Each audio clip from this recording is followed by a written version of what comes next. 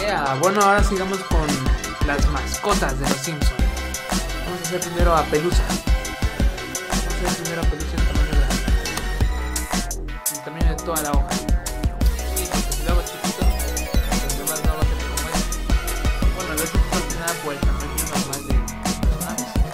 Lo puedo hacer al gato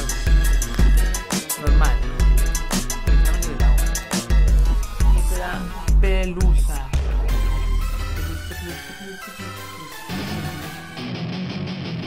empezamos con uno aquí.